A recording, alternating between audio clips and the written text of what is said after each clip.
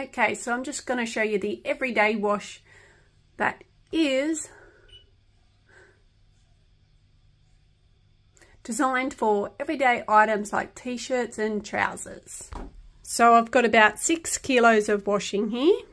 So as you can see, it's like about half full. Jeans, shorts, t-shirt.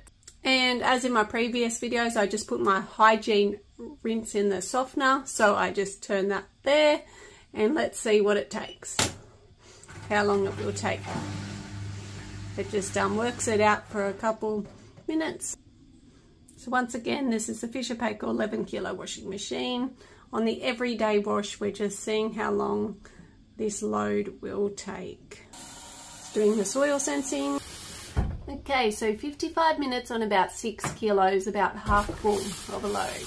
Don't forget to like and subscribe.